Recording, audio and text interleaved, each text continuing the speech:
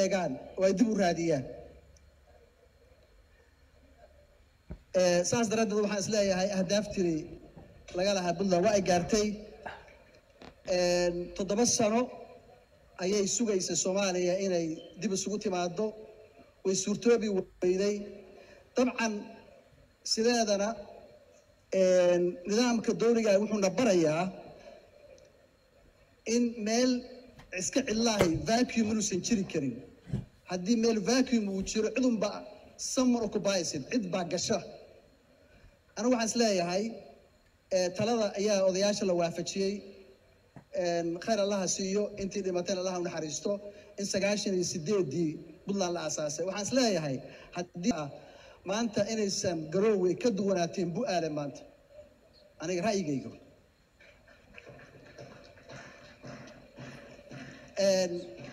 nabad iyo xasilooni bay abuureen. Qof walbaaba ha isweydiiyo marka puntlandtii sagaashan iyo sideedii iyo puntlandta laba kun iyo labaatan ma isu eg yihiin. Sagaashan iyo sideedii ma u eg tahay laba kun iyo labaatan. Teeraha qurux badan aniga waxaan is leeyahay kun iyo kow jeer waxaa qurux badan puntlandta laba kun iyo labaatan. Dabcan sooyaalkeeda iyo taariikhdeeda dadkii joogay ayaa iga waroon madaxweynuhuna maanta si faahfaahsan buu uga hadlay. Isbedeladii la sameeyey dhan walba meeqa iskuul baa jirtay sagaashan iyo sideedii meeqaa maanta jirta. Meeqa yacni eh, rugo caafimaad baa jira waqtigaas. Maanta meeqaa jirta meeqa eh, eh, eh, garoon caalamiyaanu leenahay maanta. Shalay maxaa jiray?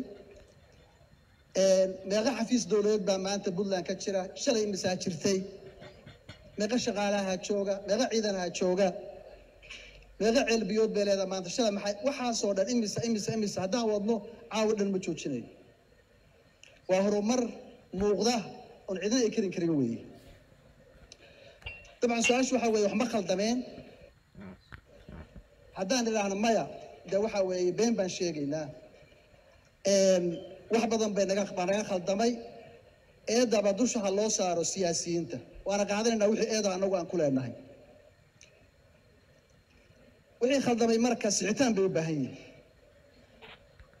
Laakiin wax kastoo naga khaldamay su'aasha haddana mar weydiino waxaa weeye ma istaahishay khaladka dhacay markii la eego iyo wanaagga maanta muuqda wasiir worth puntland inay dhisanto ma istaahisho weeye dabcan jawaabtu haddana waxaa weeye haa way istaahishay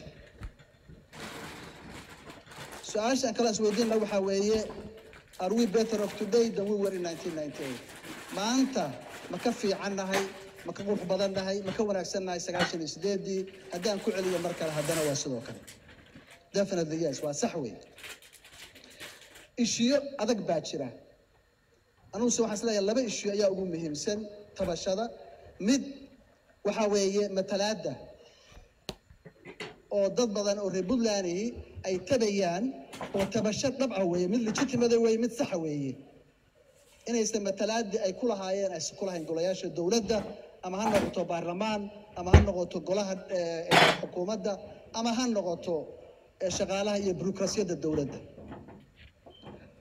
tabashada kale waxaa weeye tabashada dhulka maqan oo runtii ah nabar lagu wada yaalla dhammaanteen oo loo baahan yahay xal in loo helo. Laakiin waxaan is leeyahay labadooduba waa wax u baahan wakti tiro badan in la geliyo si dhaba looga hadlo aysana ku fillayn saddex beri oo shir ah. Laakiin wixii laga gaari karo in la iska yidhaahdaay waa waajib ina wasaaran baan is leeyahay marka arrimaha iyaga ah halla adres gareeyo madaxweyne.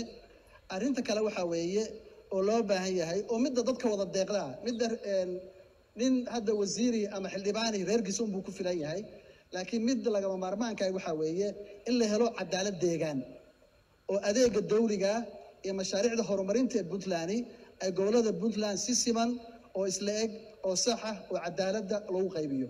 Taas ayaa dadka deeqda taas ayaana dadka ku wada filan ayaan runtii is leeyahay anugu ugu dambeyntii arrimaha soomaaliya iyo puntland. Puntland waxay wakti badan gelisay.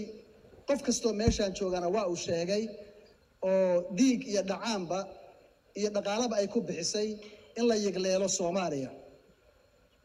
Ahdaaftii loo dhisay ayayna ka mid ahay. Dabcan hadda waxaa jira tabasho reer puntland ay tabanayaan in wixii ay geliyeen soomaaliya maxsuulkii ka soo baxay uusan ahayn wixii ay ka rabeen. Waxaan rabnaa marka arrintaa iyada ah dabcan shirku inuu si gaara u eego aada looga fakaro aada looga taxadaro puntlandna waxa ay xaq u leedahay waxa ay xaq u leedahay sida ay u tahay oo sax ay u raadsato iyadoo haddana dhanka kale aragti fog ku eegaysa jiritaanka iyo midnimada soomaaliya. Waxaan is leeyahay oo wanaagsani waa soomaaliya oo wanaagsan soomaaliya oo wanaagsanna waa puntland oo wanaagsan. Aad iyo aad baad mahadsantihiin. Wasalaamu calaykum waraxmat ullahi wabarakatu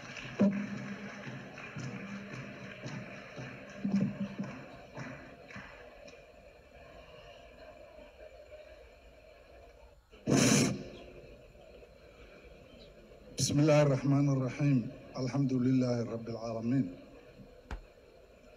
waxaan salaamayaa bulshaweynta reer puntland iyo dadka kale oo sharafta leh oo ka yimid geesaha puntland sida dowladda federaalka ah wafdiga ka yimid waxaan idinku salaamayaa salaanta islaamka.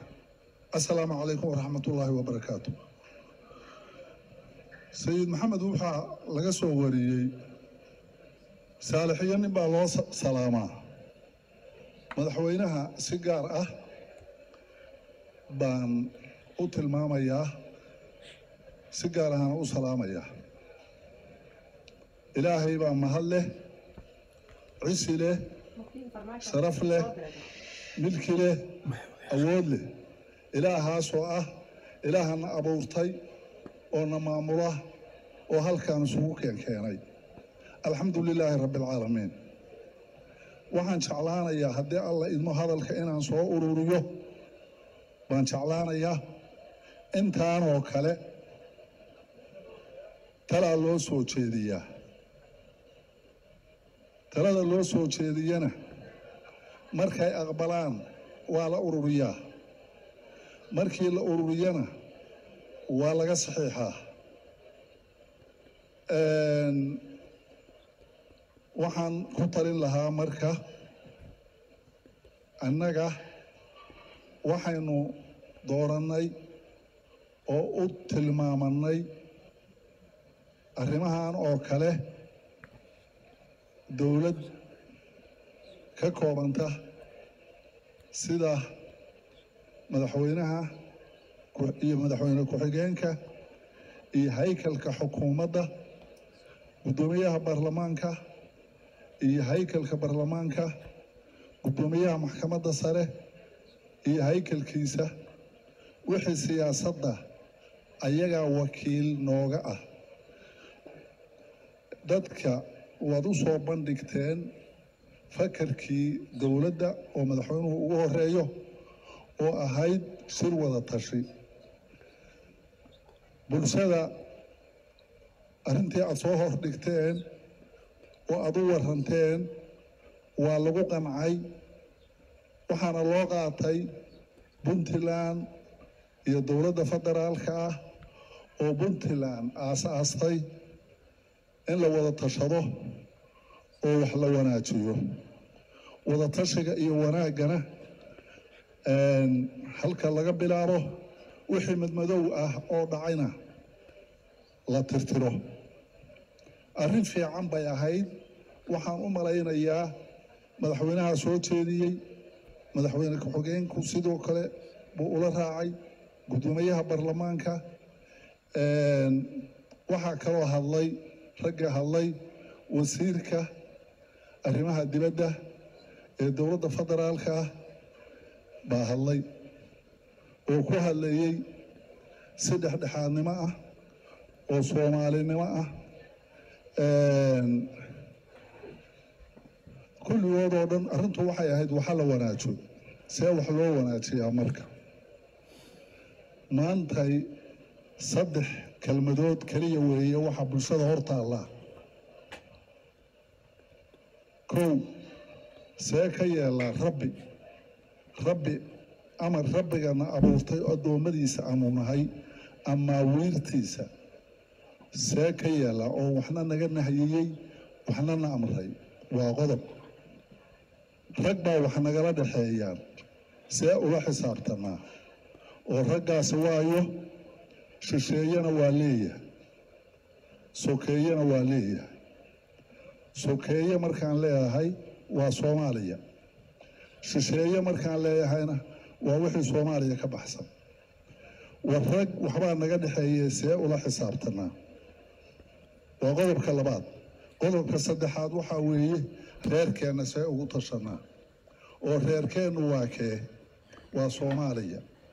Soomaaliyana puntland waxay ka tahay waax firfircoon ama saldhiggii bay tahay. Waxaan rabnaa anigu anoo isleh inaan ku hadlo magaca igu abbaaran oo ah odayaasha dhaqanka ee bulshada oday ka mida aanan rabin inaan idhaaho sida xamar oo kale. Beesha reer hebel isimadoodaa shiraya isimadaana waxa weeye isimo soomaaliyeed af soomaaliyeed bay ku hadlayaan af puntland bay ku hadlayaan af federaal bay ku hadlayaan. Qabiil iyo annaga reer hebele waa ka caagan yihiin. Weligoodna kuma hadlaan isimada puntland. Waxaan leeyahay marka ilaahay amarkiisa ha la qaato. Saddexduu qodob waa ugu horreeya oo aan u toobad keenno oo aan u soo noqonno oo shareecada islaamka ah sida ay tahay oo dastuurkeenna ku taalla dowladda ha nagu hogaamiso waa ku raacaynaa waana ku ayadaynaa. Dastuurkeennay ku jirtaa ilaahay iyo rasuulkiisuna waa yidhaaheen rag waxaan ula dhaqmaynaa waxyagana waa ka ceshanaynaa.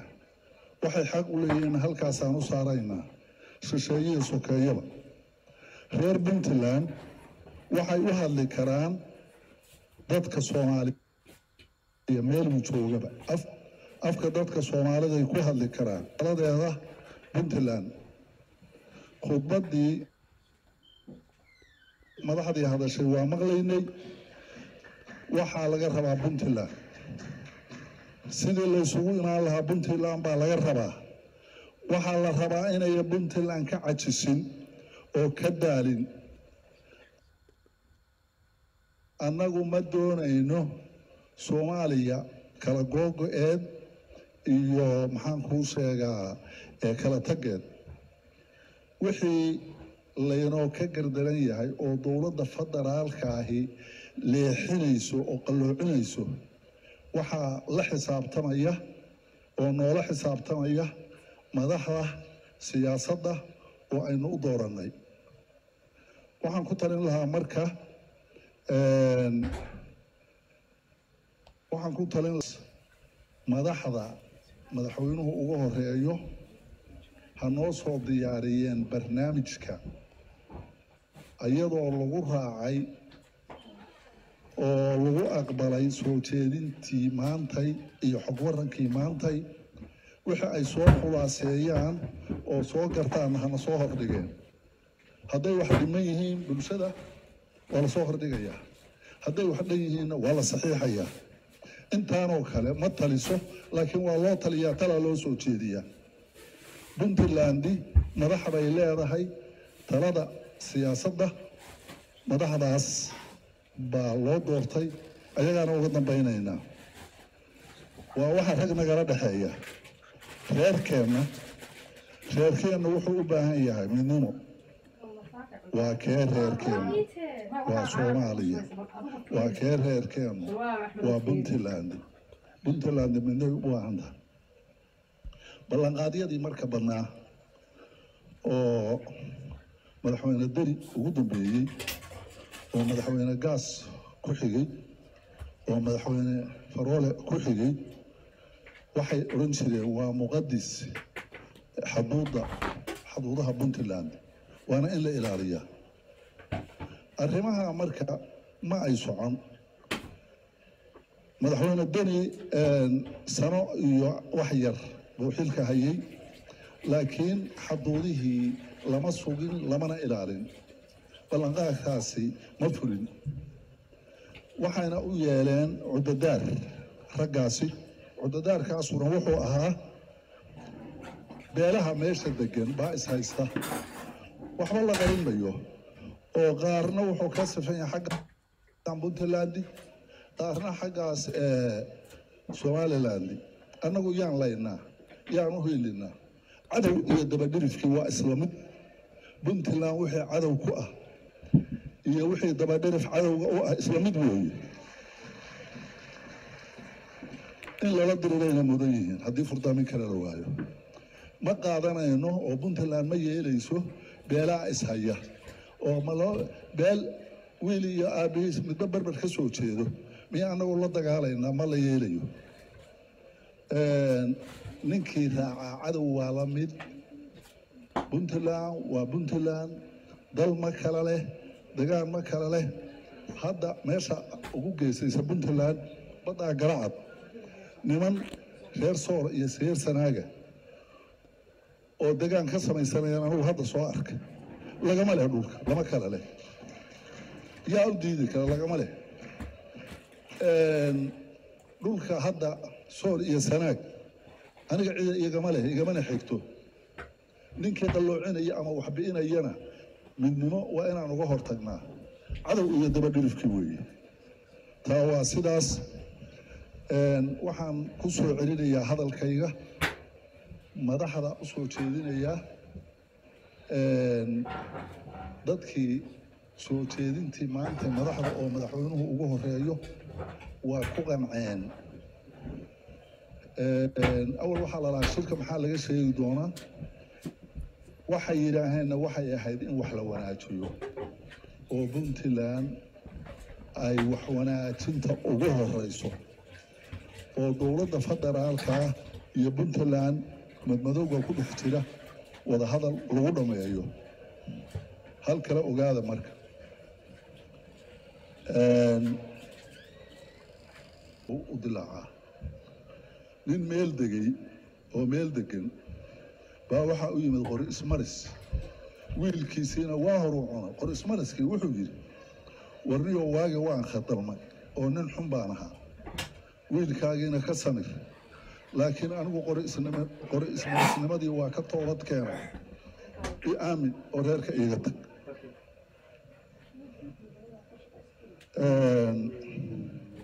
ninkaasi marka meelna wuxuu ka fiiriyey ninkan toobad keenay. Meelna ninkii wiilkiisi cunay inuu yahay buu arkayaa. Arrintaa waxaan u wadaa soomaaliya cadow bay leedahay cadowga soomaaliyana waxaa loo baahan yahay dowladda federaalka ah iyo dowladda puntland iyo dowladaha dowlad goboleedyadu in la iska kaashadaa soomaaliya lalama rabo wada jir lalama rabo isticmaalkiina isticmaalsan jiray oo weji kale leh baa nagu dhex jira. Waxaa la leeyahay marka dowlad goboleedyada kuwaa si gaara u taageera. Wanaagna u taageeri mayaan waxaa la leeyahay dowladda federaalka ah kuwaa ku jiraya dowlad goboleedyada. Waana muuqataayoo waxaa muuqda inaan dadka isku dad ya- iyadoo dadka isku dad yahay waddadii inaan lagu wada toosin. War haddii allihiin alla yahay dowladda federaalka ah iyo dowlad goboleedyada war dadku wuxuu idiin wakiishay haykal dowladeed oo toosan ku hogaamiya dadka. Dadku caqli buu leeyahay. Idina caqli ka mid baa tihiin. Taladii keliyaha laydiin dhiibtay hadalkayga waxaan ku soo gabagabaynayaa dowladda puntland wakiil nooga tihiin wixii aan idiin dooranay noo xisaabtama oo soomaaliya u xisaabtama. Annaguna waa idinku ayidaynaa intaa markaan intaa uga baxo puntland iskama dhalan raggan ee yimid oo nin walbaaba isagoo masciideedu eeg uu ka yimid dibadda. Yaa ka joogay. Maanta ama isimada ha ahaato ama siyaasiyiinta ha ahaato rag yar baa raggii puntland aasaasay ka nool oo joogay. Anigu waagaa dhallinyaraan ba ahaa. Haddana maanta jarajarada waa soo fooli waaye wax wanaagsan baa noogu timaadeen oon idiin doorannay. Waxaa la rabaa waxaasina waxay ahaayeen midnimo soomaaliya